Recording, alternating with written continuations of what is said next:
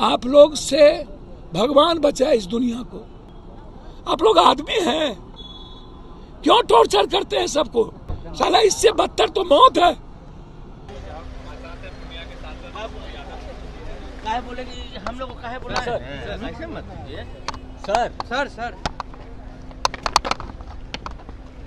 F I R दर्ज हुई है सर क्या आप कर पे अच्छा ठीक है सर। आरोप आरोप लगा अरे रे रे रे अच्छा एक बात एक बात बताइए। कल हम हाई कोर्ट में हाई कोर्ट में हम उसके खिलाफ जा रहे हैं कि व्यक्ति कौन है? व्यक्ति कौन है? और 2021-22 में कौन बात किया? 2021-22 में कौन बात किया? 2021 में किसने बात की? ये व्यक्ति पहले संतोष कुशवाहा के पर भी एफ़ किया हुआ था। यह व्यक्ति कई लोगों को माँ बहन गाली गलौज किए हुआ है।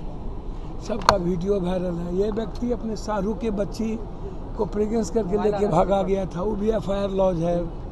अपने शाहरू की बेटी को। यह व्यक्ति डेली दारू पी, उसका डीएनए टेस्ट आज करवा लीजिए। डेली दारू पीता, उसके ब्लड में। ये मधेपुरा का अमित कौन है, हम जानते भी नहीं हुए, स्कूटी भी इंजीनियर है, बीएसएनएल के रांची का। अब उस अमित का स्कूटी भी इंजीनियर का, उससे क्या लेना देना होगा? स्कूटी भी इंजीनियर, मेरे शागिर्द कैसे हो जाएँगे? जब बीएसएनएल के वो स्कूटिव इंजीनियर है तो आप लोग को पूछ लेना चाहिए स्कूटिव साहब से। और उसके बाद इक्कीस का में क्या बातचीत हुई, बाईस में तो इक्कीस, बाईस के चार साल के बाद एसपी साहब को ये एफआईआर दर्ज करना चाहिए इस फ्रॉड का। ये तो निश्चित रूप से एक प्रतिष्ठा का हनन की ही ना, एक कोशिश की गई तो उस पर मानहानि का मुकदमा भी होगा।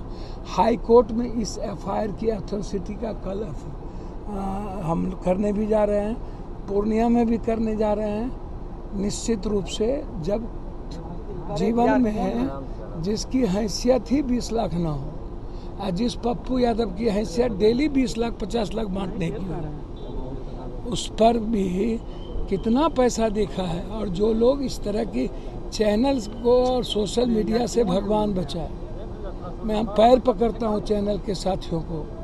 आप लोगों की मदद सिर्फ़ पप्पू यादव करता है। एक घर तो डनिया बकसिए एक को घर तो बकस दिया कीजिए। किसी को आप लोग नहीं छोड़ते हैं। आप लोग किसी के हैं या नहीं? साजिश के तहत हुई है क्या साजिश है भैया फिर वही बात आप लोग किसी के हैं कि नहीं? हम आप लोगों के बारे में जानना चाहते हैं आप लोग का ये किसी का है कि नहीं? जिस थाली में खाते हैं, उसी में आप लोग छेद करते हैं। हैं? जो आदमी डेली दस बीस लाख रुपया बांटता हो, उस पर भी कोई बात हो सकती है और जिसको हम जानते नहीं हो। आप जाँच करते ना कि पप्पू यादव से कभी मिले कि नहीं, पप्पू यादव से इनकी बातचीत हुई कि नहीं।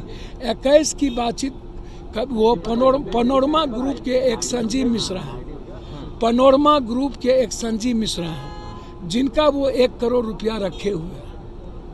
उनका चेक बाउंस है पनोरमा ग्रुप के संजीव मिश्रा के साथ। सलेंडर नाम का एक लड़का है, मधेपुरा का, वो भी बिजनेसमैन है।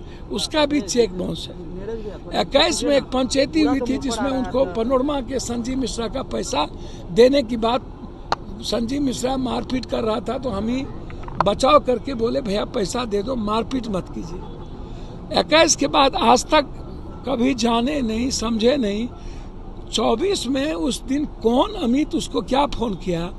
एसपी साहब से हम हाथ जोड़ के पूछते हैं और डीआईजी साहब से कह देंगे, कोई फलना आदमी आके कौआ कान लेके चला गया तो आप एफआईआर लॉन्च करिएगा। और उस आदमी से जिस आदमी ने, जिसका केस दर्ज है, एक पंडित जी ने केस दर्ज किया है, ब्राह्मण को माँ बहन लगा के गाली दिया हुआ है, वीडियो वायरल है। जिसने अपने सारू की बेटी को भाग गया प्रेगनेंसी कर दी। सारू ने केस किया है कोढ़ा थाना में। जो लड़की के साथ सिल्लीगोड़ी में पकड़ाया, वो केस है। और उस आदमी के अथॉरिटी जो डेली दारू पीता है, लकड़ी चीरता था मधेपुरा में, कहाँ से पैसा आया?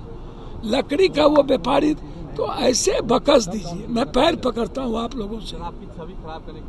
मैं पैर पकड़ता हूँ, इसमें आप लोगों की भूमिका सबसे ज़्यादा है। आप लोग किसी के नहीं हैं? समझे? बड़ों के बाप, कनियों के बाप, चित भी मेरी, पट भी मेरी। आप लोग से भगवान बचाए इस दुनिया को। सर, मैं भगवान नहीं। मैं अपने भगवान की सौगंध खा के कहता हूँ, मैं आज तक किसी से फ़ोन तक नहीं करता हूँ, न मैं जानता हूँ। सर, मेरा शरीर काम नहीं आएगा। और उसके बाद जो मन में आता है, सो करते हैं, सर। आप लोग आदमी हैं। क्यों टॉर्चर करते हैं सबको? क्यों जीने नहीं देते हैं किसी को? साला, इससे बदतर तो मौत है। अब जाके पता करिए कौन कौन लोग हैं इसमें साजिश में। हमसे जुड़े रहने के लिए हमारे YouTube चैनल को सब्सक्राइब करें और नई वीडियो की नोटिफिकेशन के लिए बेल आइकॉन को दबाएँ।